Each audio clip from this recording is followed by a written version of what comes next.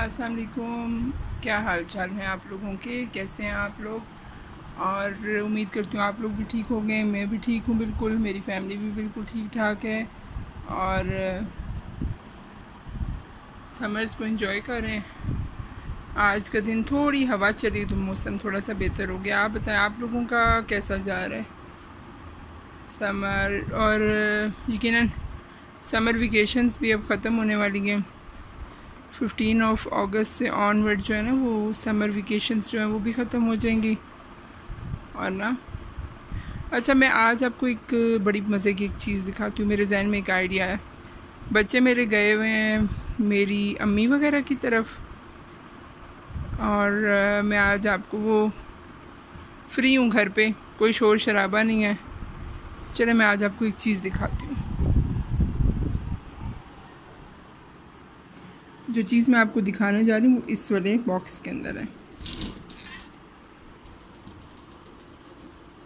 इसको निकालते हैं। तो दिखाते हैं कि ये क्या है।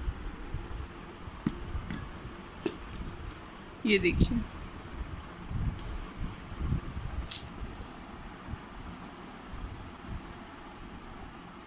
अच्छा अब ये जो चीज़ मैं आपको दिखाने लगी हूँ और इसके मैं आपको फ़वाद बताऊँ तो क्या क्या इसके फ़ायदे हैं, क्या एडवांटेजेस हैं तो आप बड़े हैरान हो जाएँगे। अभी इसमें क्या क्या है वो आपको पता नहीं, नज़र आ रहा होगा या नहीं नज़र आ रहा होगा क्योंकि मैं आपको बताती हूँ। इसके अंदर गाइस है, अजवाइन है, हरमल है इसके अंदर, गूगल और नेर, ये चार चीज़ें अब आप लोगों की लैंग्वेज में इसको क्या कहते हैं आई डोंट नो अब ये जो हरमल, गूगल, नेर और अजवाइन है, ये मैंने जो हम वज़न एक मतलब ना एक की जो सबकी क्वांटिटी बराबर लेके रखी हुई है। ये जो मदर्स हैं वो यकीनन उनके लिए ये बहुत मैं आपको बेस्ट चीज़ एक बता रही हूँ, बहुत ज़बरदस्त सी रेमेडी है।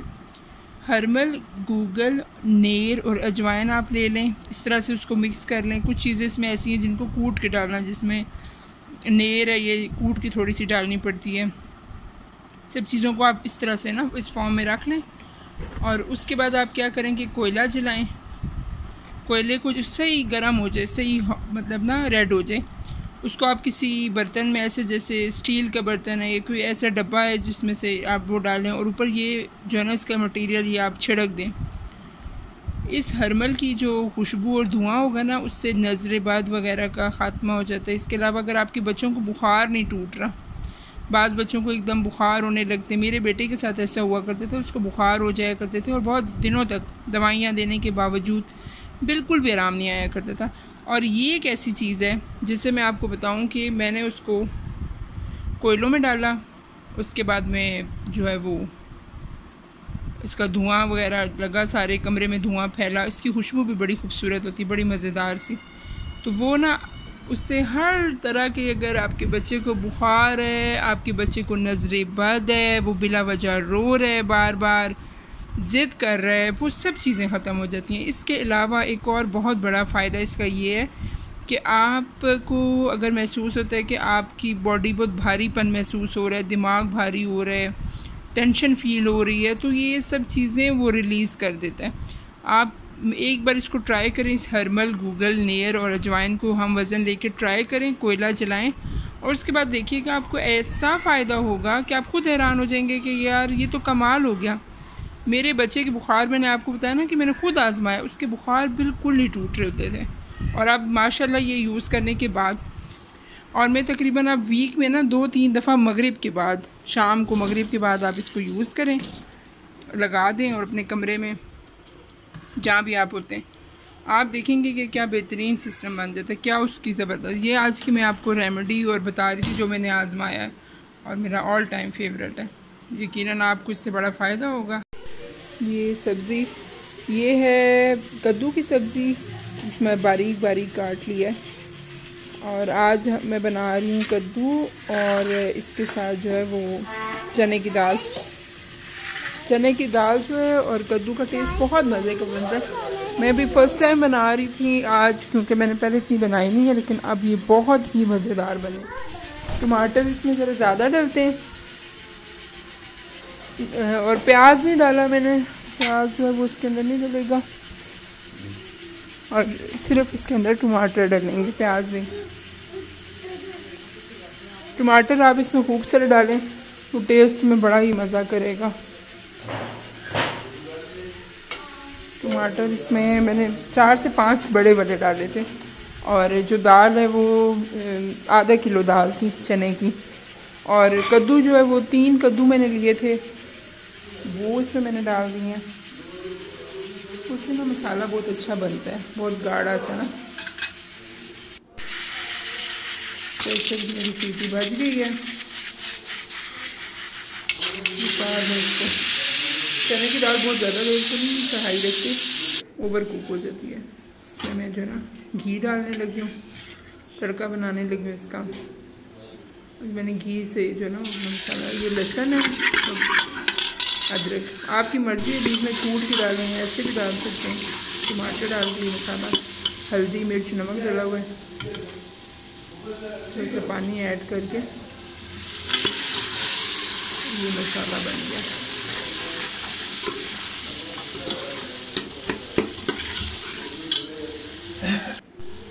ये बीच में मैंने इसके कद्दू डाल दिया और कद्दू की बुनाई करें अच्छे से।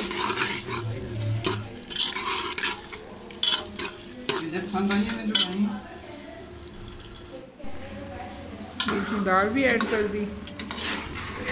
और अभी इसके, इसकी बुनाई कर। दूँ कलर देखें। अच्छा जो दाल और कद्दू है ना, ये अगर आप बनाएँ ना तो इसका जो बेसिक टिप है, उसकी आप बुनाई बहुत ज़्यादा करें आपको इसको। बुनाई बहुत ज़्यादा करनी पड़ेगी आपको इसकी।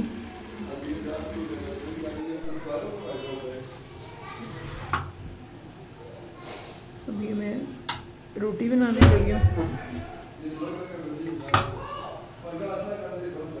पराठा सुबह का बना हुआ था। सलाद भी बना लिया मैंने। सलाद तो लाजमी, तभी मेरे हस्बैंड को सलाद बहुत पसंद है खाने में। दोपहर के तो मैं, ये मैंने सलाद बना लिया, चटनी, पुदीने की चटनी। इसकी रेसिपी हमेशा मैं कहती हूँ, किसी दिन लाजमी ये भी मैं ना अपलोड करूँगी, आपको रेसिपी बताऊँगी। ट्राईपॉड मैंने स्टार्ट किया यूज़ करना। तो ये भी देखें।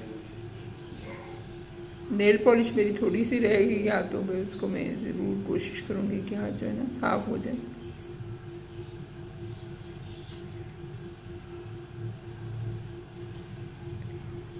रोटी बन जाए।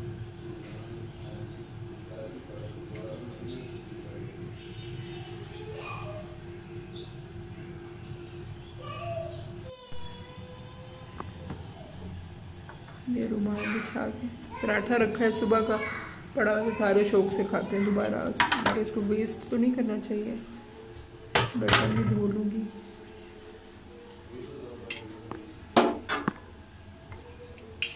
दाल में मैंने थोड़ा सा पानी ऐड किया था। बस ये ऐड हो गया। सफ़ेद ज़ीरा भी मैंने इसके अंदर तवे पे रख के ना, सफ़ेद ज़ीरा भी इसमें मैंने ऐड कर दिया था। देखने में तो बिल्कुल हलीम की जैसे लग रही है इसकी शक्ल टेस्ट में ना। सबके लिए रोटी डाल लूँ दोपहर की। बाहर मौसम बहुत अच्छा हुआ है, बहुत ही लवली क्लाउडी बहुत गर्मी थी दो दिन से तो ज़बरदस्त बारिश लगी हुई है।